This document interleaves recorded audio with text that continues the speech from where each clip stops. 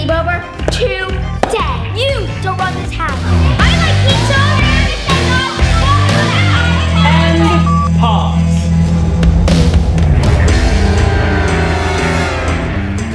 Anyone? Only one sleepover was listed on the calendar. And that sleepover belongs to Reagan. She's the right.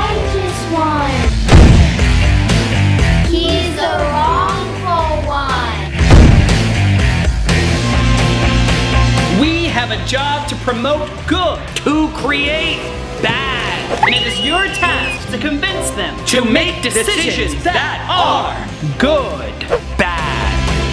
Oh, no, no, no, no! Who are we? Angels!